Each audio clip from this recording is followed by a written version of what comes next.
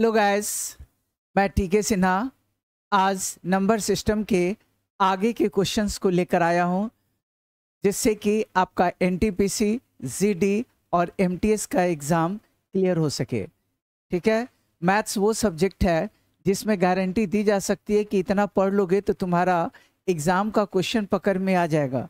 इसलिए अच्छे से पढ़ेंगे ज़ीरो लेवल से पढ़ेंगे और जिनका वीक है वो दो बार, तीन बार इसको देखकर बनाने की कोशिश करेंगे। ठीक है? तो आज है डे थ्री और हम लोग आज सबसे पहले ये क्वेश्चन है, एक संख्या को जब क्रमिक रूप से चार और पाँच से विभाजित किया जाता है तो क्रमशः शेष एक और चार बचता है। जब इसे क्रमिक रूप से पाँच और चार से भाग दें तो संख्या क्या होगी? मतलब चार और संख्या नहीं मालूम, भागफल नहीं मालूम, कह रहा है चार और पाँच से भाग दें तो शेषफल एक और चार आता है। फिर पलट दिया कि पाँच और चार से भाग दें तो शेषफल क्या आएगा? तो कुछ लोग कहते हैं चार और जब उल्टा हो गया तो चार और एक। इसमें टिक लगा देते हैं। हो गया गलत। ये काम नहीं करना है। हमको सबसे पहले संख्या निकालना होगा और फिर संख्या को भाग देना होगा। और तब निकलेगा। आप बोलोगे, सर, संख्या कैसे निकालें? तो देखें, ऐसे केस में संख्या कैसे निकालें?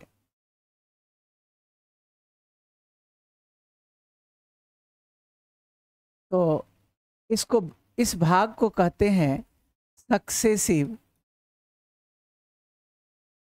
डिवीज़न। सक्सेसिव डिवीज़न मतलब होता है उत्तरोत्तर भाग या क्रमिक भाग। अब देखें ये भाग कैसे देते हैं। ठीक है, अगर किसी संख्या को मान लो यहाँ इस क्वेश्चन में क्या कर रहा है तो चार और पाँच से भाग देते हैं तो रिमाइंडर कितना आ रहा है? एक और चार आता है। किसे किसे भाग दे रहे? हैं चार और पाँच से। और रिमाइंडर क्या आ रहा है? एक और चार। तो देखें, ऐसे चार और यहाँ पाँच, इससे भाग देंगे तो रिमाइंडर एक और चार। ऐसे करके अरेंज करते यहाँ कुछ नहीं रहता है। ठीक है? एक चीज़ और हम लोग क्या जानते हैं कि भाज्य बराबर भाजक गुना भागफल प्लस शेषफल।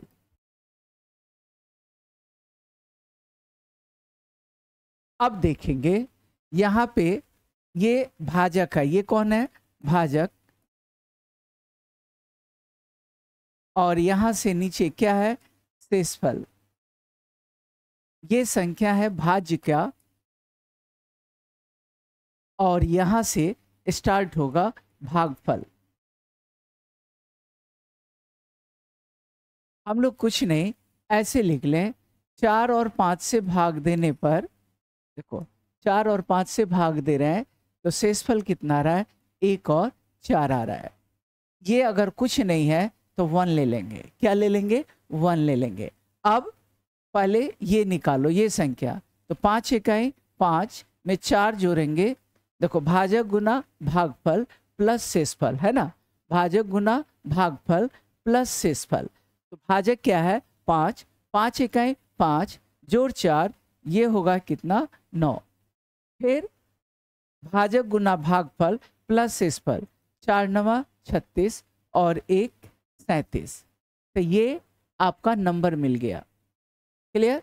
और क्वेश्चन क्या कर रहा है? इसी नंबर को, यानी इसी सैंतीस को किससे भाग देना है? तो पाँच और चार से, पहले पाँच से और बाद में चार से। तो जैसे कह रहा है, आप वैसे लिखेंगे। पहला काम, संख्या निकाल लो। कैसे निकला?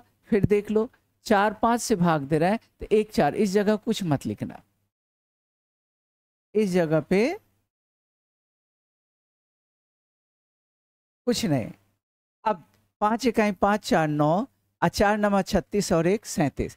देखो, पाँच से भाग देंगे सैंतीस में, पाँच सत्य पैंतीस शेषफल दो, चार से फिर भाग लगेगा चार एक चार शेषफल तीन, यानी दो और तीन आएगा। जिन लोगों को दिक्कत हो सक्सेसिव डिवीज़न का वीडियो मैंने दे रखा है।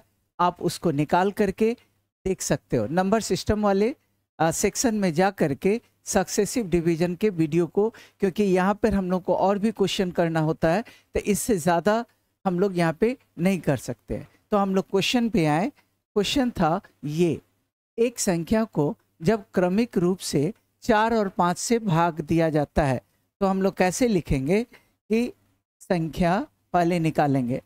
चार से और पाँच से भाग देते हैं तो शेषफल एक और चार आता है। इस जगह कुछ नहीं है, क्या मान लेंगे? एक मान लेंगे। गुना कीजिए। पाँच इकाई पाँच और चार, नौ। चार नवा छत्तीस और एक, सैंतीस। मतलब संख्या आ गया कितना? सैंतीस। फिर कह रहा है, इसी संख्या को पाँच और चार से भाग देना है तो सैंतीस ऐसे लिख लो, और इसको किससे किससे भाग देना है? पहले पाँच से और फिर चार से पाँच से थे पैंतीस, शेषफल दो, चार इकाई चार, शेषफल तीन, यानी क्रमशः शेषफल दो और तीन आता है। तो ऑप्शन सी।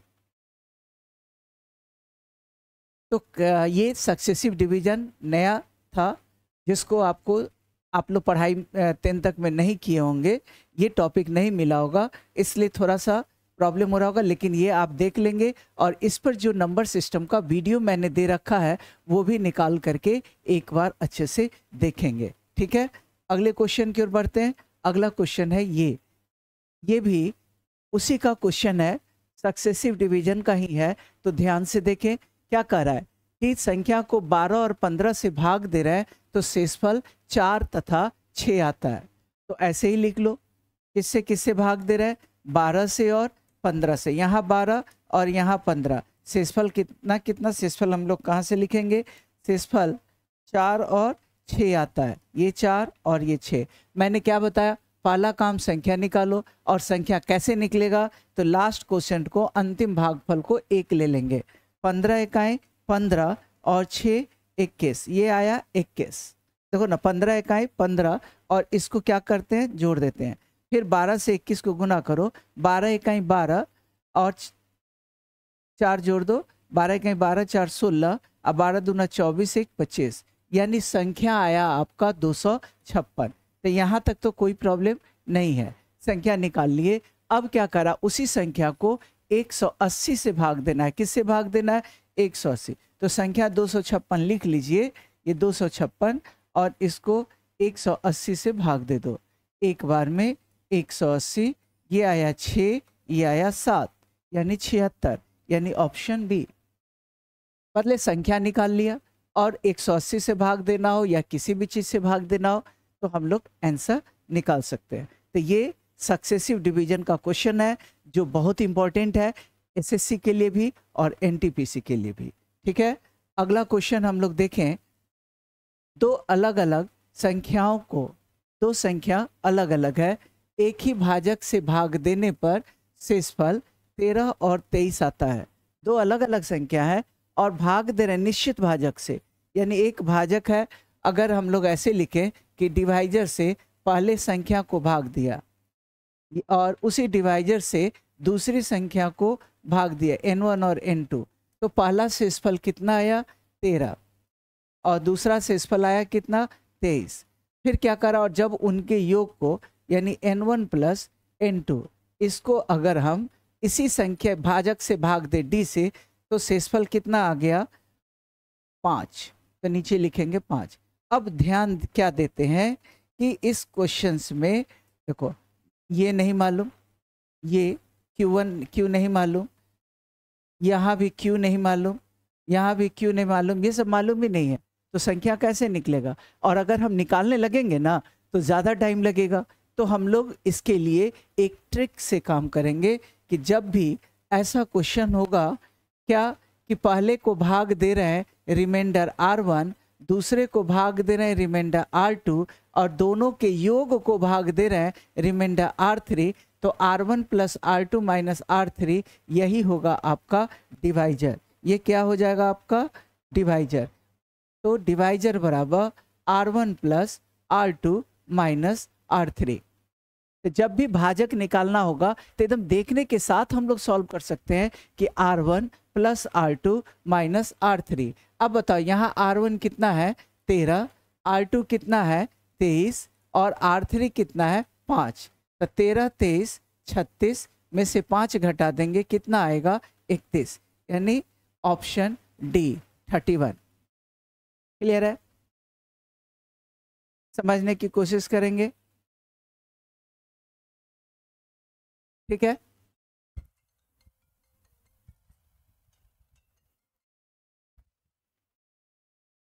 आगे हम लोग देखते हैं अगला क्वेश्चन जो शायद ऐसे ही है।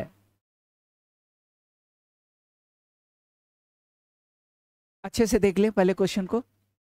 यहाँ भाजक दे दिया तैतीस से भाग दे रहा है। यहाँ भाजक नहीं पूछ रहा, यहाँ भाजक दे दिया है। तैतीस से भाग दे रहे हैं तो शेषफल इक्कीस और अट्ठाईस आता है। तैतीस से भाग दे रहे हैं तो शेषफल इक्कीस और अट्ठाईस आता है और उनके योग को तैतीस से भाग देते हैं तो शेषफल क्या होगा? हम लोग क्या जानते हैं कि डिवाइजर बराबर R one plus R two minus R three और यहाँ पर ये दिया हुआ है कितना? तैंतीस। आर वन कितना है? इक्कीस। आर टू कितना है? अट्ठाईस और आर थ्री कितना है? आर थ्री, नहीं मालूम। तो आर थ्री पूछ रहा है तो आर थ्री तो दोनों को जोड़ लो, बीस बीस, चालीस, नौ, उनचास, तैंतीस बराबर तैंतीस बराबर, उनचास forty nine minus R three अब बताओ आर थ्री इधर जाएगा तो आर थ्री बराबर, उनचास में से तैंतीस घटा देंगे। आंसर आ गया सोलह, यानी ऑप्शन डी ठीक है? तो उसको अच्छे से देखें।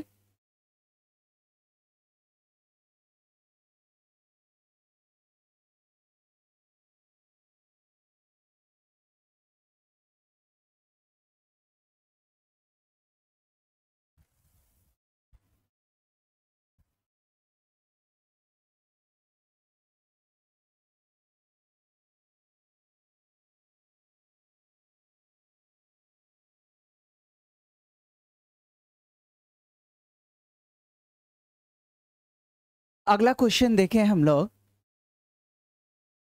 थर्टी वन दो अलग अलग संख्याओं को एक ही भाजक से भाजित करने पर क्रमशः शेष बारह और इक्कीस आता है और उनके योग को एक ही भाजक से भाग देने पर शेषफल चार प्राप्त होता है.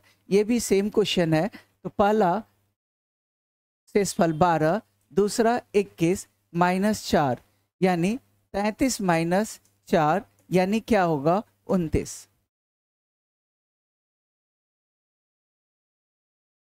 सेम क्वेश्चन है। इसलिए ध्यान दें कि क्वेश्चन जब सेम है तो कैसे सॉल्व होगा?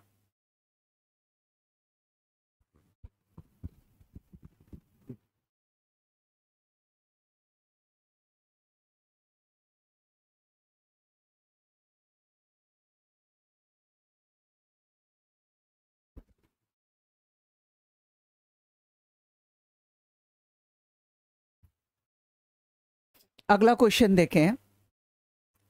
दो संख्याओं का योग 160 है, उनका अंतर उनचालीस है। योग कितना है?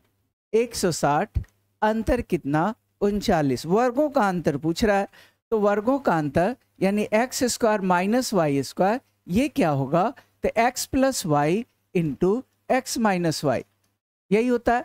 अब बताओ, ये मालूम है 160 और ये मालूम है उनचालीस तो गुना कर लेंगे ज़ीरो, सोलह नवा एक सौ चौवालीस, सोलह तिया अड़तालीस, दस अंठावन और एक उनसठ, फाइव नाइन फोर ज़ीरो।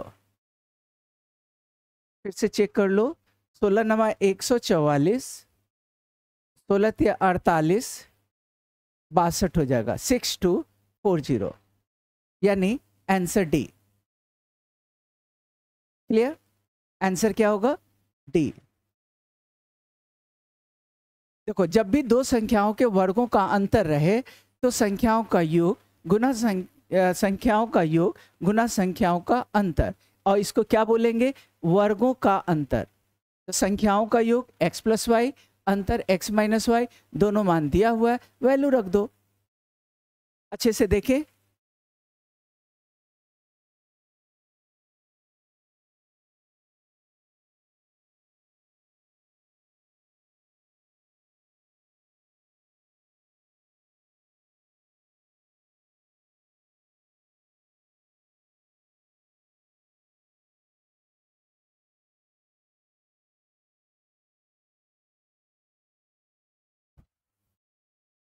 अगला क्वेश्चन देखें। एक परीक्षा में एक छात्र को प्रत्येक सही उत्तर के लिए चार अंक मिलता है। देखो, कोई भी एग्ज़ाम आप देते हैं तो वहाँ निगेटिव मार्किंग भी होता है।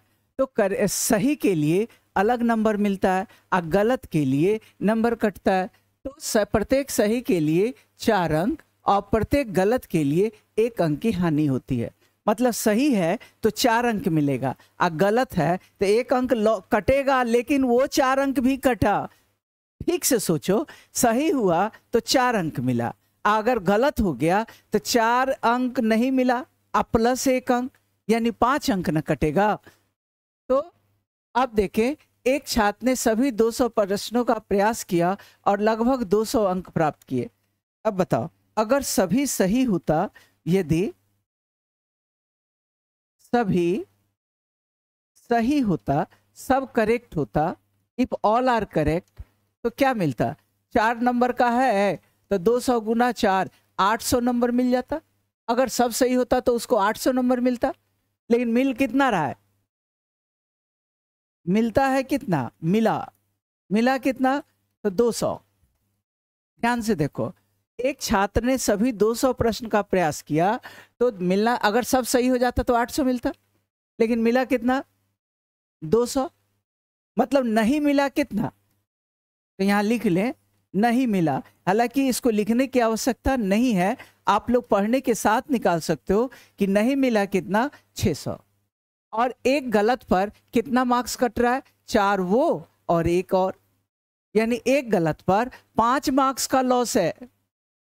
तो 600 मार्क्स का लॉस तो गलत की संख्या, गलत की संख्या। कितने क्वेश्चन गलत होंगे? तो 600 को चार ज़ोर एक। ये चार ज़ोर एक कहाँ से आया? कि चार नहीं मिला प्लस एक निगेटिव यानी 120 क्वेश्चन आपका गलत है। एकदम पढ़ने के साथ फिर से देखो, सब सही होता तो 800 मिलता, मिला कितना? 200 600 नहीं मिला 600 को पाँच से भाग दे दो 120 गलत है। यहाँ तक तो पढ़ने के साथ बन जाएगा। तो सही कितना? तो टोटल 200 है।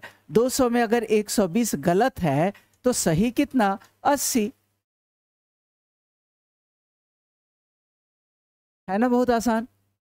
क्वेश्चन देखकर घबराहट लग रही थी, लेकिन उतना ही आसान कि यहाँ तो think without ink think without ink सोचो, बिना पेन का, और आंसर दे दो। तो अगर मिलता 800 तो मिला कितना? 200 हटा दो। नहीं मिला कितना? 600 आ, एक गलत पर, देखो हम लोग यही नहीं सोच पाते। अगर सही होता तो चार मिलता। तो ये चार और एक निगेटिव हो गया, पाँच। तो टोटल एक क्वेश्चन गलत पर, पाँच का लॉस है। तो 200 बटा पाँच यानी 120 सॉरी 600 बटा पाँच यानी 120 तो गलत हो गया 120 सही हो गया 80 ऐसा एक क्वेश्चन और मैंने आपके लिए दिया। जल्दी से आप लोग बनाइए। जल्दी बनाइए अपने अपने कॉपी पे और कमेंट्स बॉक्स में जल्दी से कमेंट भी कीजिए। मैं आपका कमेंट देखता हूँ।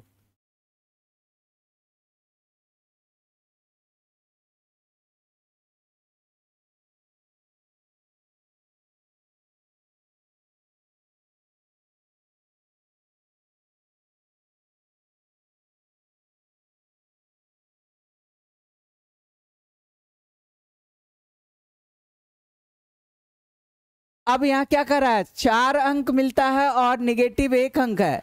यदि वह सभी पचहत्तर प्रश्न का प्रयास करता है, बताओ, पचहत्तर में पचहत्तर सही होता तो मिलता कितना? तीन सौ। अब मिला कितना? मिला। कितना मिला? एक सौ पच्चीस। घटा दो तो नहीं मिला।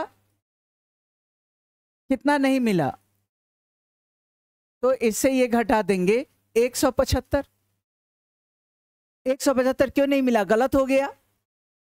एक गलत पे कितना कर कट रहा है? तो चार ये और एक वो। तो गलत की संख्या कितनी? तो एक सौ पचहत्तर बेटा चार और एक, पाँच। पाँच से पंद्रह, पाँच पच्चीस पच्चीस। क्वेश्चन करा, सही उत्तर की संख्या बताओ। तो टोटल तो पचहत्तर था। अब पैंतीस अगर गलत है तो सही कितना? चालीस। ये हो गया आपका सही। बहुत ईजी है। थोड़ा सा एक दो बार प्रैक्टिस करेंगे तो आसानी से सॉल्व कर पाएँगे। ठीक है? अगला क्वेश्चन हम लोग देखते हैं, ये।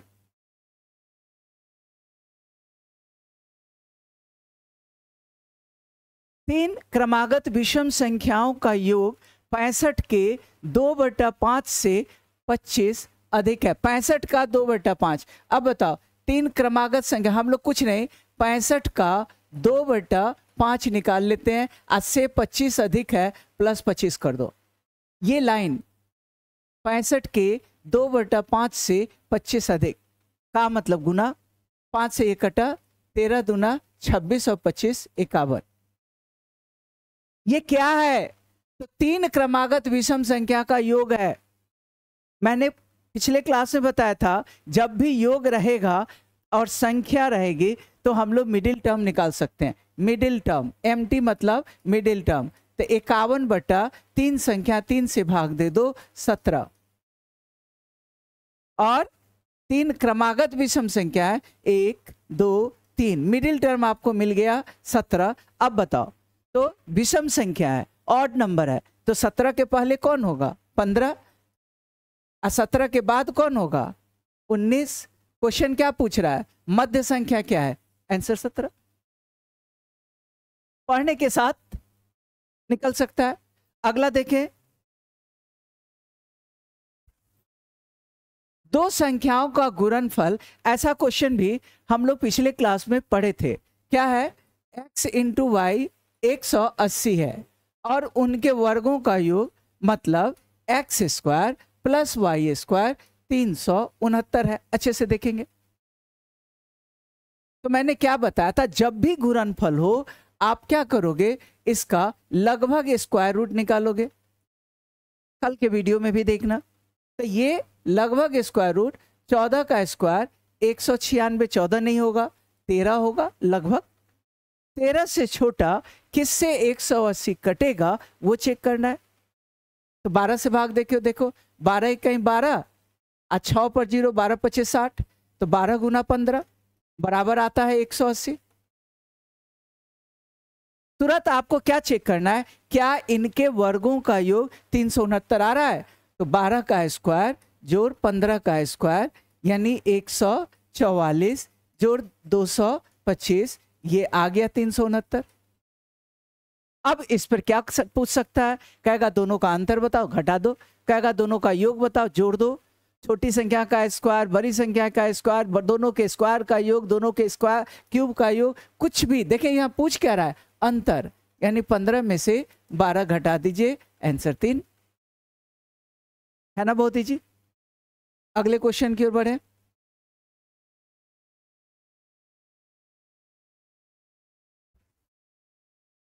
तीन लगातार प्राकृत संख्या के वर्गों का योग। ध्यान देना, तीन लगातार प्राकृत संख्या के वर्गों का योग। अगर हम लिखते तो लगातार संख्या X square plus X plus one का square plus X plus two का स्क्वायर क्योंकि लगातार प्राकृत संख्या तो यही होगा कि पहला एक्स है तो अगला एक अधिक, उसके बाद वाला उससे भी एक अधिक।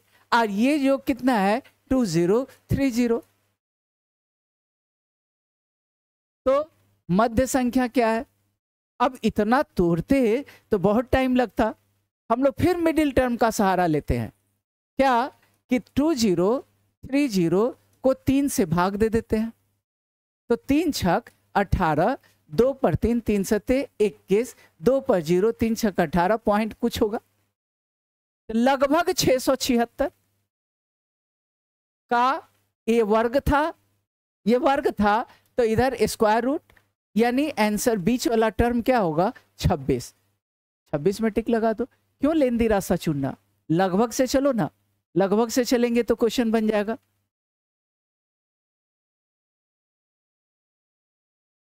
अब ध्यान दें।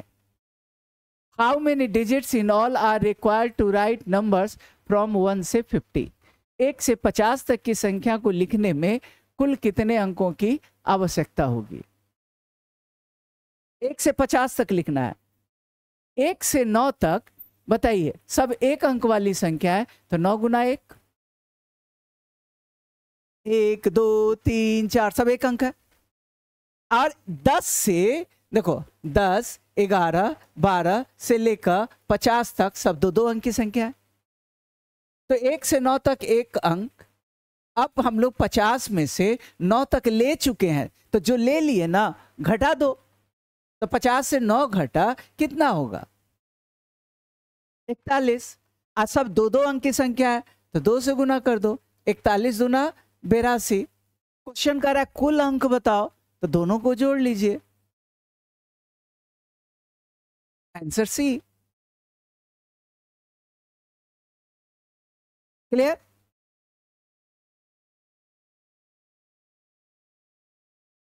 अगला क्वेश्चन को अच्छे से पढ़िए।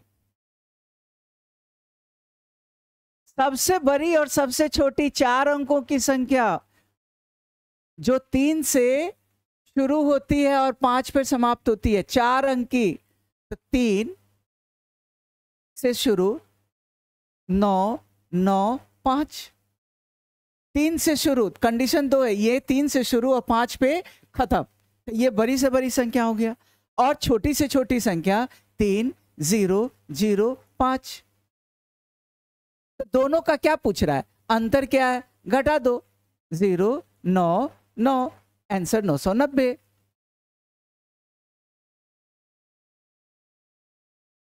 बहुत ईजी है।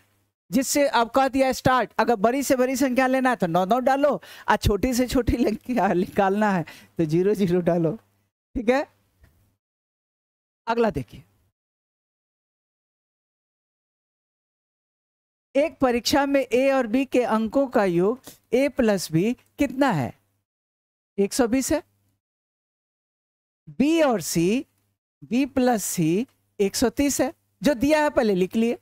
सी और ए 140 है। ध्यान से देखो ए अगर हम ती, तीनों को जोड़ दें तो ए कितनी बार? दो बार। बी कितनी बार? दो बार, सी भी कितनी बार? दो बार। यानी अगर हम जोड़े तो दो बार ए, बी, सी, और ये बराबर कितना होगा? ज़ीरो। चार, तीन, सात, दो, नौ, तीन। एक एक, दो, एक, तीन। तो एक बार ए, बी, सी क्या हो जाएगा? एक बार ए, बी, सी। तो तीन सौ नब्बे बटा दो। दो से उन्नीस दुना अड़तीस, और दो पचे दस। दो पचे दस, दो नंबर अठारह, एक उन्नीस, दो यानी एक सौ पंचानवे क्वेश्चन ये नहीं पूछ रहा है, हम लोग लेकिन टोटल निकाल चुके हैं। क्वेश्चन कर सी बताओ। तो बता ए बी सी में से अगर हम ए बी घटा दें तो सी नहीं बचेगा। तो ए बी कितना है? 120 तो सी बराबर एक सौ पंचानवे में से 120 घटा दो। कितना आया? पचहत्तर। यानी ऑप्शन बी समझ में आ रहा है? तो ऐसे ही कुछ क्वेश्चंस मैं आपको दे रहा हूँ सॉल्व करने के लिए, जो आप ध्यान दें। अगला क्वेश्चन जो आप सॉल्व करेंगे, वो देखिए। वह सबसे छोटा अंक भरें, जिससे ये नौ से, किसे? नौ से कट जाए। तो नौ से कटने के लिए क्या करते हैं? अंकों का योग नौ से कटना चाहिए। हिंट काफ़ी है। बनाएँगे आप। या अगला है एन को छः से भाग देते हैं तो शेषफल चार होता है। मैंने इस टाइप का क्वेश्चन बता दिया था। और जब टू एन को छ से भाग देते हैं तो रिमाइंडर क्या होगा? बताए थे कि अगर संख्या दो गुना तो रिमाइंडर को भी दो गुना कर लेना और तब भाग दे देना। क्लियर अगला क्वेश्चन यदि कोई संख्या 31 से उतनी बड़ी है जितनी वह पचहत्तर से कम है तो वो संख्या क्या है? बस इक्वेशन में लिखना, पचहत्तर माइनस एक्स बराबर एक्स माइनस इकतीस। मैं बता नहीं रहा हूँ, आपको सोचना है। ठीक है? अगला, उन सभी अभाज्य संख्या का योग जो सत्रह से अधिक नहीं है मतलब सत्रह से छोटा अभाज्य संख्या कौन कौन है, उसका योग बताना है। और